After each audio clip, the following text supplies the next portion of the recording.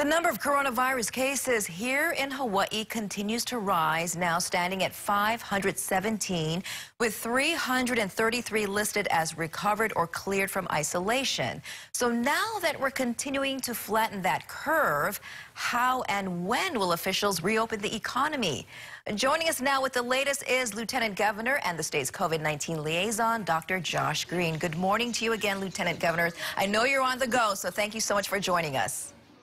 Yeah, I, I got my times mixed up, so I'm outside Starbucks waiting for my coffee, but I'm here for you. Thank you so much. Now, first question 517, it seems like we're starting to flatten the curve.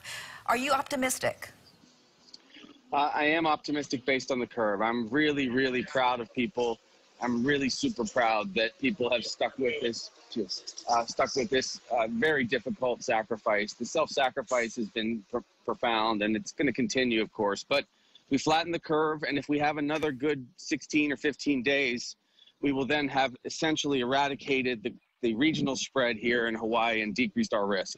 Then we'll have to turn our attention to how do you actually start an economy and let people start coming back safely. Now, you say a good 16 or 15 days. First of all, define good. Does that just mean single digits and in the teens in terms of cases? Exactly. So, by doing what we've done and seeing so few cases, there's a very low likelihood of significant clusters breaking out. And we also have a lot of testing capacity to go and deal with them fast. So, all of that has been a success, and it's because of people's hard work, period. There'd be no way on earth without the the governor's order and then people actually taking to heart the self self sacrifices of work. So when you just see 6, 10, 13 cases, a lot of that is just background being picked up from five and six days ago. So guys, keep doing it. Don't get overconfident at all because if we're overconfident, we'll see spread. And if we see spread, we'll have to extend the, the home quarantine, which is very hard on us. And at what point will you be willing to make a decision or recommendation on that?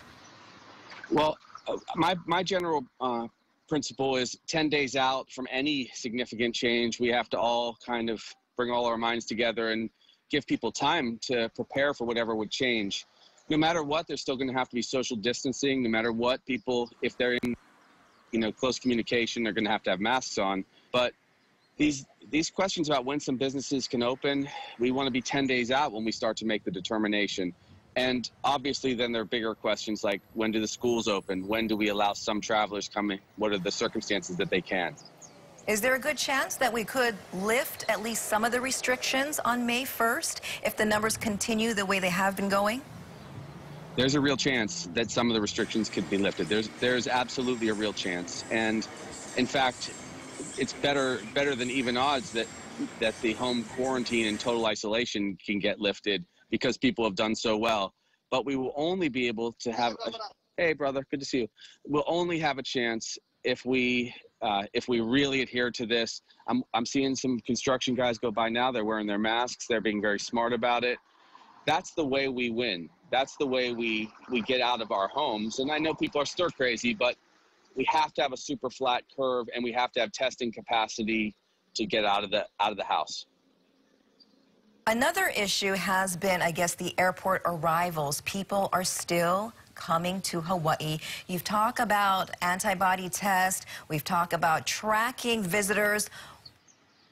What's the most realistic solution to this, and how quickly could it be implemented? Well, the most realistic solution is it's going to take several weeks to get a, a good antibody test not just for us, but that we've seen it work in a few other locations around the world. We can't take a chance with that. I, am starting to, uh, I put together a five point plan that I'm sharing uh, in early stages with the governor and, and general and their team. I have a strong feeling we're going to have to get a certification from anybody that wants to travel to Hawaii, probably just 48 to 72 hours out, that they are negative.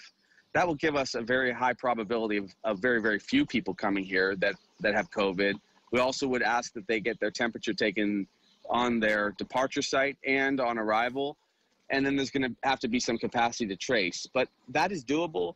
As soon as we get antibody tests, though, then we can open up in mass. So this is not uncommon for people to go through a process like when they get a visa, when they travel. It's just now essentially a health visa. Hey, man. Take care, guys. Eh, but sorry about that. But it's a health visa in in these terms, and I think that that's the way it's going to be. That's the way it's going to be meaningful for us to keep our people all safe. All right, Lieutenant Governor, we do appreciate your time and sticking with us. And do you still have time to join us in about 10 minutes to answer some viewer questions about COVID-19? Yeah, totally. I just was off by an hour, so uh, I'm here. Just, just I'll be walking, but right. uh, walking and answering questions. And saying hi, of course, the residents of Hawaii. We thank you again, LG. We'll see you in about 10 minutes. And we need to take a break, but we'll be back with more on this Wednesday morning. Stay with us.